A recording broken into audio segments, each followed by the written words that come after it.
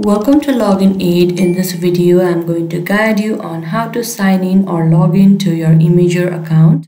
It is a very simple step. For that, make sure you open one preferred web browser. Here I am opening Google Chrome. Now at the search bar, you can simply search www.imgur.com and press enter.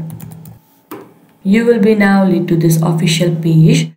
At the top right, you can see the option sign in. You have to click over there.